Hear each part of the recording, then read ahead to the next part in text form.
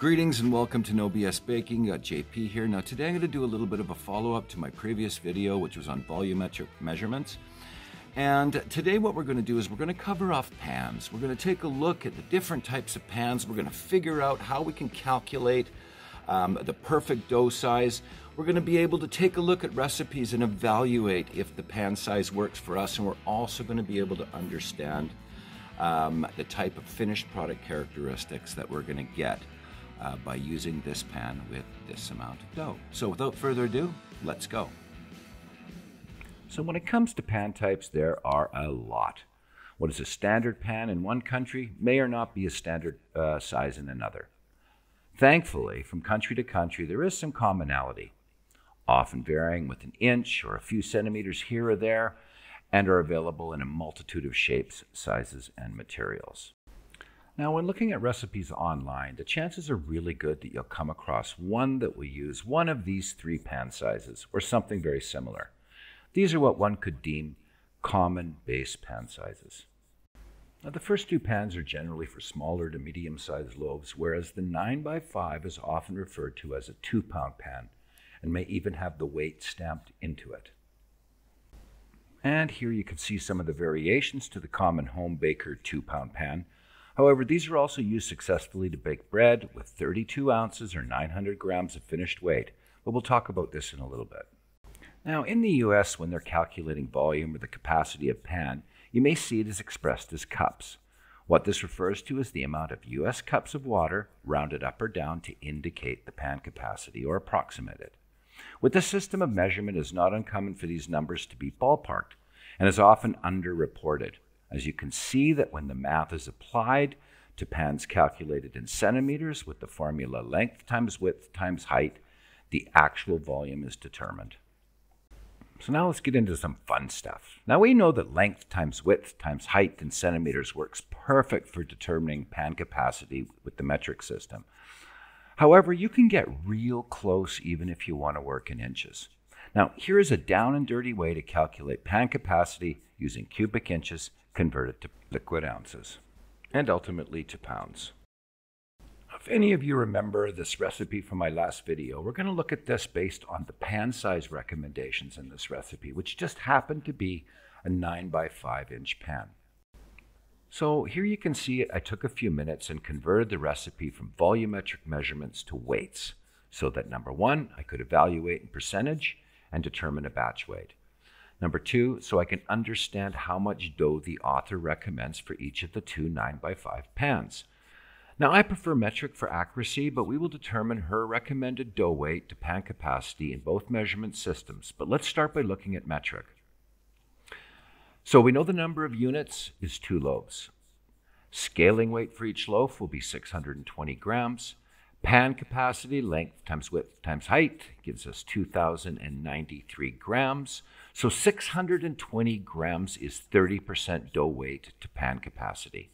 Now, if you watched my video on pan calculations, then you can see that this recipe calls for a dough weight on almost the absolute minimum for this pan. Now, keep in mind that many recipes don't give you exact pan dimensions, and more often than not, the pan height or depth is not communicated. Now, that can make a big difference.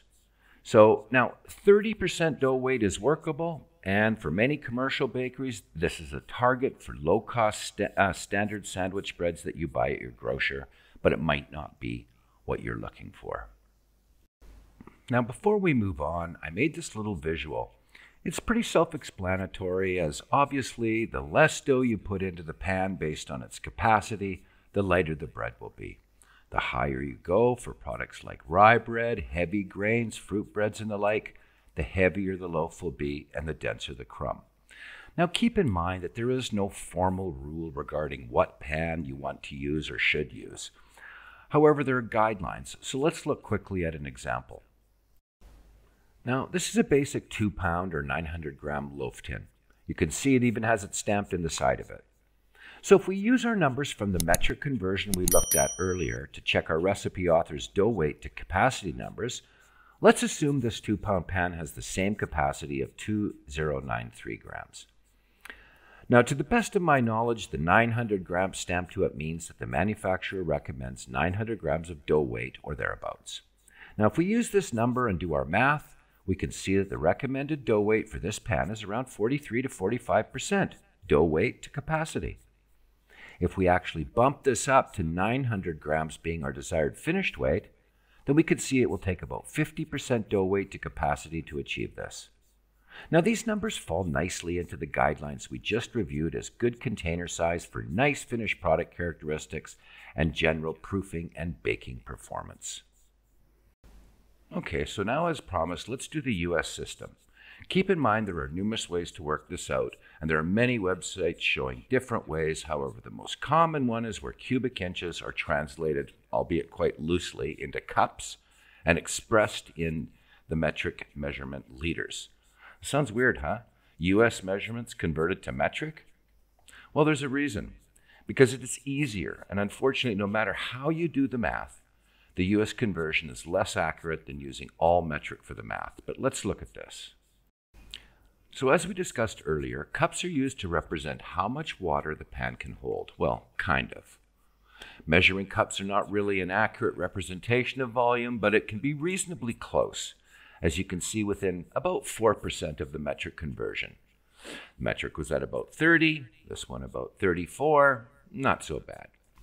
Now, if you dig deeper, calculating total pan cubic inches into fluid ounces gets you a lot closer, so let's look at this. So we know that one cubic inch equals 0.554 fluid ounces. So we take the actual pan size of 9 by 5 by 2 and 3 quarter inches, that equals 124 cubic inches. We round it. We multiply that by 0.55 and we get 69. Now, as you can see, the US system requires more steps and more math, and at the end of the day gives a, gives a reasonably close number. To be honest, when it comes to the US system, I would forget about the measuring and the, of the pans and the rest of it and simply fill the pan with water, weigh it, and express it in ounces. So now in summarizing dough weight to pan size analysis, let's recap. You calculate cubic inches of the pan, multiply that by 0.55 to convert it to ounces. You take your planned dough weight per pan, multiply this by 100, and divide it by 69. Now you'll note that if you actually factor in some of the mixing losses, you know, like dough left over in the mixing bowl or left on the dough hook, and you ac- accurately weigh your perfectly divided dough pieces for each pan, you will increase your pan capacity accuracy significantly. Now, from the metric side, it is easy. Length times width times height of the pan in centimeters equals the pan capacity in grams. Now multiply your scaling weight times 100 and divide by your pan capacity, and you're filling your pan with a dough weight of 30% of your overall pan capacity. So now we understand dough weight to pan capacity. Let's say now we want to increase the amount of dough to 45% from the original 30% and adjust our recipe for this change. Anyone who's followed my channel knows I like to use ratio and proportion. It's simple, it's accurate, and easy to keep organized. The first thing we'll calculate is how much dough we need to go from 30% to 45%. Here's where we'll put our known pan capacity number. What we want to find out is what is 45% of the pan capacity. Now we can quickly do the math. 45 times 2093 divided by 100 equals 942. 940 will be our new dough weight per pan. Now we'll figure out our flour for our new batch size of 1,880 grams, or two loaves scaled at 940. Once again, it's simple. 1880 times 600 divided by 1252, and you got 900.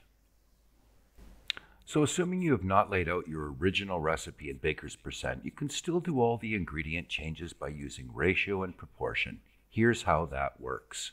Now, you'll note that the accuracy is pretty much bang on, just using ratio and proportion. Now, this, this will work with the US system exactly the same providing you have your recipe converted to a common denominator such as ounces. Now, there are numerous ways and methods out there for figuring all this stuff out. But when I went to baking school, ratio and proportion was what I learned as a tool for solving math based baking problems. Now, the beauty is, is as long as you're organized, methodical, and clear with the answer that you want, then you can tackle almost any baking question in a number of different ways without relying on or remembering other people's math and calculations. Now, if you remember, this was the example I used for calculating increasing my dough weight from 30 to 45% of my pan capacity. In this example, I used and calculated pan volume and said I want to know what 45% of this is. Now, the beautiful part about ratio and proportion is that you may not think the same way as I am. So you may think that, okay, well, I know my dough was, if I divide it in half, was say 626. And I know by doing that pan calculation thing that I learned, I was at 30%. So now I want 45%. So this is how you set up your problem, and you can see that the answer works out to the same. Now, if you remember how I calculated all the ingredients for upsizing the recipe, now I just opted for using total flour because it was the first recipe calculation we made and it was right there in front of me. Now, you may opt for a different route based on your thinking at that time. You decide to use the original dough weight and the new calculated dough weight as an example. Now you can see that this makes little to no difference in the final math, and so your ratio and proportion plan for adjusting your ingredients to fit the new upscaled recipe worked. Excellent job. Now lastly, ratio and proportion is a very valuable tool in the kitchen or bakery. If you're logical, methodically thinking, you can arrive at the answers you're looking for from a number of different angles, as we've seen. Now, just keep in mind that when using ratio and proportion, follow your headings. Mixing up different measurements will lead to confusion and frustration.